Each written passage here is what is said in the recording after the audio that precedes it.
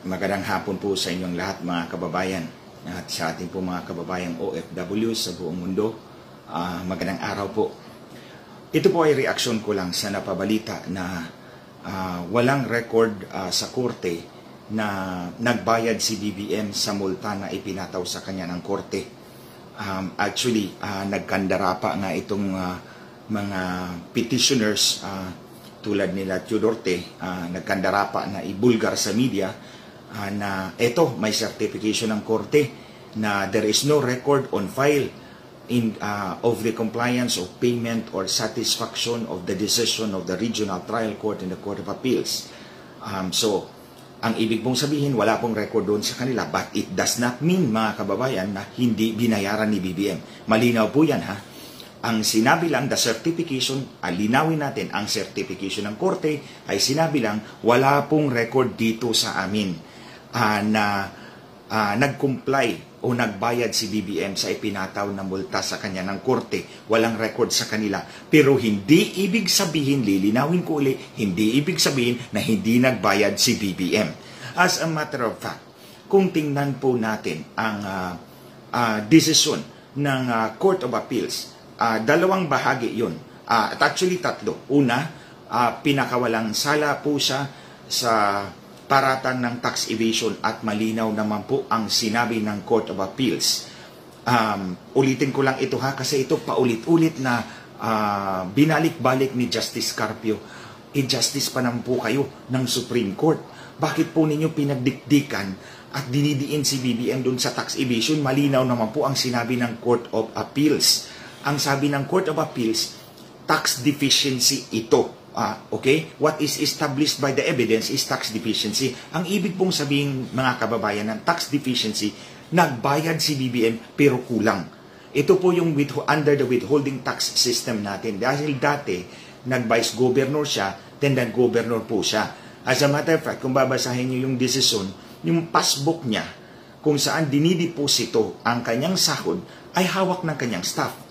So therefore, yung nagpe-prepare ng kanyang income tax return ay hindi si BBM, kundi yung kanyang mga tao.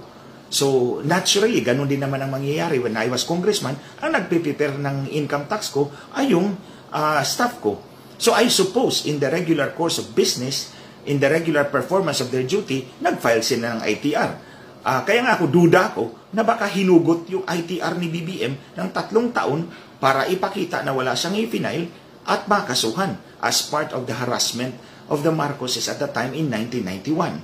So, hindi talaga ako naniniwala na uh, hindi nag-file yung staff ni BBM dyan uh, when he was governor. Imagine governor yan at hindi ka mag-file, eh, tauhan ka ng governor, ikaw ang pinagkatiwalaan, nandyan pa sa iyo ang passbook at hindi ka nag-file. It, it's, it's not logical. I would suppose that in the regular course of, in the regular performance of the duty of that uh, public employee, nag-file siya ng ITR para sa kanyang boss. So yun nga lang, uh, because at that time, mainit ang mga Marcoses, 1991, gustong uh, uh, pinag-initan talaga ng gusto, baka hinugot yung tatlo at uh, para mayroong uh, basihan para kasuhan siya. Pero malinaw ang sinabi ng Court of Appeals. Deficiency tax ang pinag-uusapan natin. So under the withholding tax system, uh, alam po ito ng ating mga kababayan na sumasahod uh, sa gobyerno o sa pribadong sektor.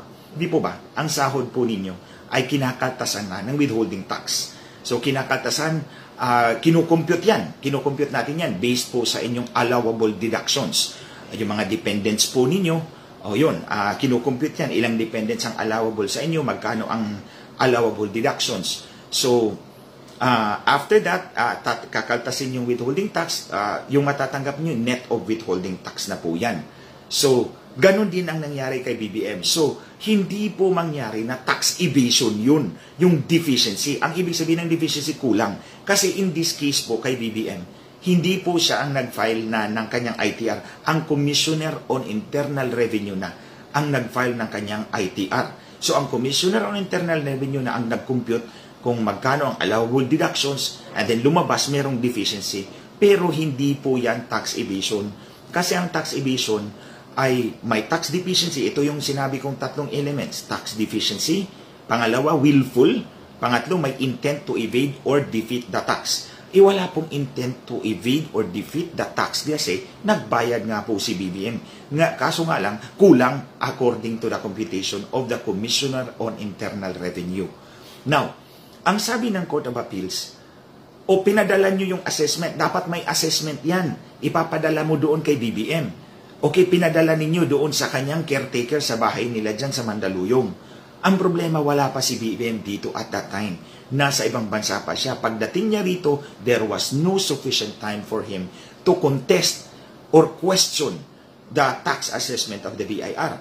Kinasuhan na lang siya kaagad. Kaya nga, nagmumukha talagang harassment suit ito. So, yun. Sabi po ng Court of Appeals, walang tax evasion dyan. And I agree. We agree na walang tax evasion dyan. And there is no moral turpitude. So, dito tayo sa pangalawang sinabi ng Korte. Bayaran mo yung tax deficiency. No, sabi ng Court of Appeals, o bongbong, bayaran mo yung tax deficiency mo. Okay. So, it appears now, no, it appears now na meron pong lumabas dyan sa social media yung resibo mula sa Land Bank of the Philippines Okay, o yung official receipt ng Land Bank sa pangalan po ni BBM, siya po ang payee, o payor. At uh, binayaran po niya 67,137 pesos and 27 centavos. Ito po yung tax deficiency na binayaran ni BBM. And sumulat po yung kanyang abogado uh, doon sa Bureau of Internal Revenue Head Office. Kasi doon nga sila magbabayad. Uh, yung tax deficiency doon babayaran sa BIR, hindi sa korte. Malinaw yan. Pero Ah, ito malinaw ha, sinabi nila, o oh, ito, nagbayad na kami ng 67,137 pesos and 27 centavos as full complete satisfaction of our client's tax liabilities. So settled na po yan. So ito, anong ginawa nitong mga petitioner na ito? Pumunta sa korte, humingi ng record, alam nilang wala.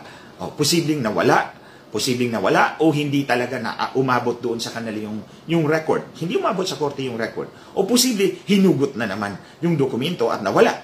So, in that case, kung hinugot yan para wala, pagmumukhang walang record, then somebody has to be charged with infidelity in the custody of documents. Kung sino ang may custody ng record, ang custodian ng record niyan, o kung nawala yan, meron nga pero nawala, and then you can be liable for infidelity in the custody of documents. It's a criminal offense. So, posibleng maraming nangyari. Hindi umabot doon yung record. Hindi nariman yung case, ay uh, yung record sa lower court. Kaya paglabas, walang record.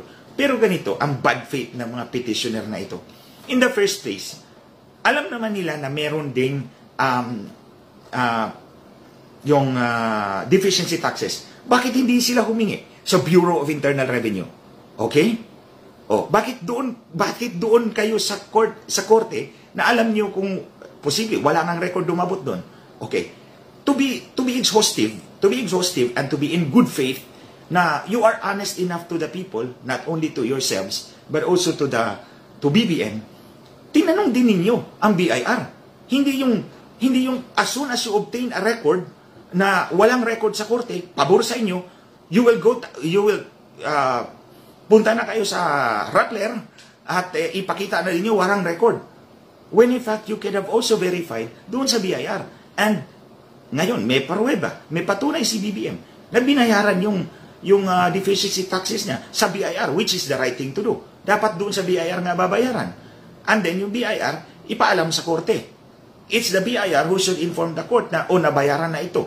Natanggap namin ito because ang BIR ang tumanggap ng pera. So si BIR ang dapat magpapaalam sa korte.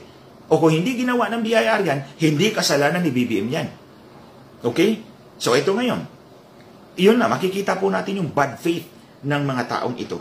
Uh, yung bad faith na sa halip na tanungin mo ang lahat ng pwede mong tanungan uh, kung totoo ba talagang nabayaran. And alam naman nila ito na part of the part of the order of the court, the Court of Appeals, is doon mo babayaran sa Bureau of Internal Revenue.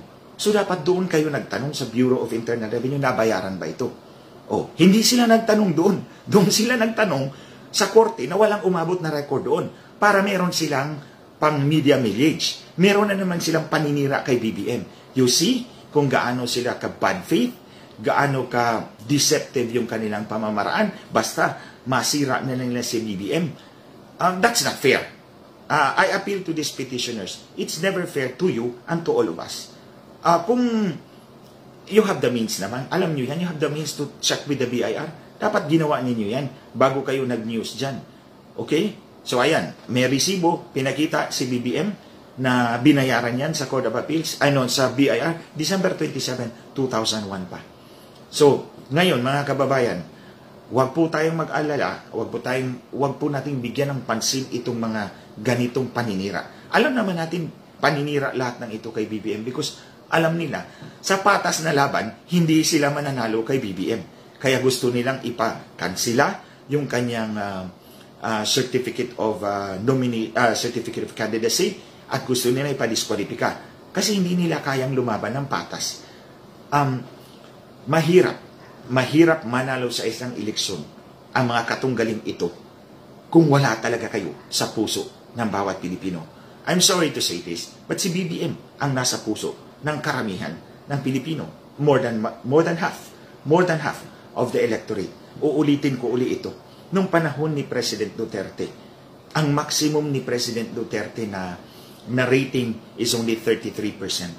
Um, that was one week before the May 2016 elections one week before the elections, umabot po si Presidente ng 33%. Si Binay, 31%. Uh, January 2016. Pero si BBM, malayo pa. Nasa pumapalo na po siya ng 57%. Halos dinobli po ang rating ni, ni President Duterte. So, he's really very popular. So, kaya itong mga desperado, uh, kung ano-ano na lang, paulit-ulit na lang, uh, pito na yata, limang disqualification, dalawang um, cancellation of uh, certi- uh, certificate of candidacy. Paulit-ulit na lang. It's actually trash petitions. Walang kwenta. These are all nuisance. Kaya po sa mga naniniwala po kay BBM, huwag po tayong magpadala sa mga balitang ito.